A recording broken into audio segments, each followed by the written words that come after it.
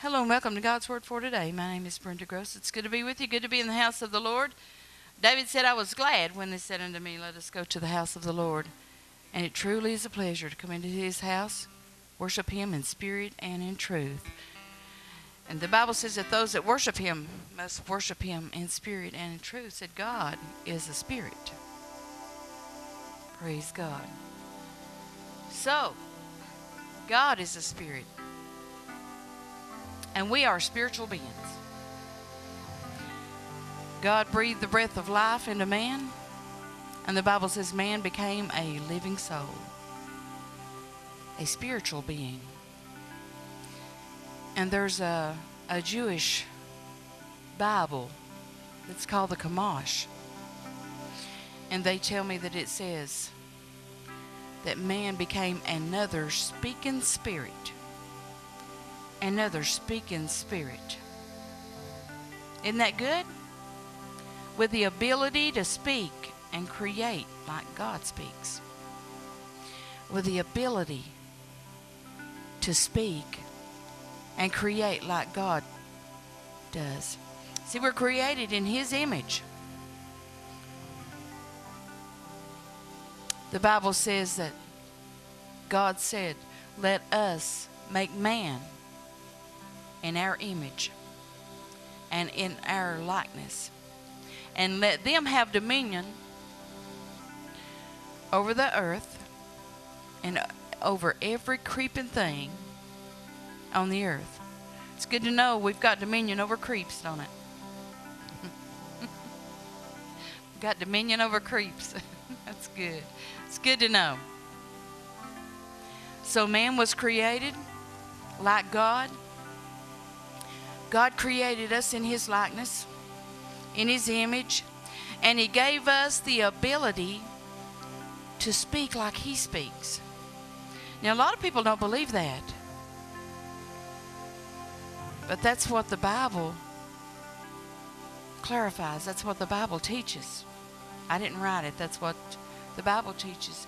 Jesus bore witness to that. He said that whosoever shall say unto this mountain, Mark 11, be plucked up and be cast into the sea, and shall not doubt in his heart, but shall believe the things which he says, which he saith, King James said, the things which he says, shall believe the things which he says shall come to pass. He shall have whatsoever he says. Somebody might say, Well, Brenda, you think I can just say anything and it'll happen? If I believe it, I didn't say that. Jesus said that. Jesus said that. But he's talking in light of the things of the kingdom. He's talking about man having authority. See, there's some things that we say that we're supposed to say, we're supposed to speak to. Because Jesus said it. Well, on the next verse, this is Mark 11, I think it's 23, 24, 22, 23, and 24. It says, Whatsoever things you desire when you pray. See, there's things that we're supposed to say, and there's things that we pray about.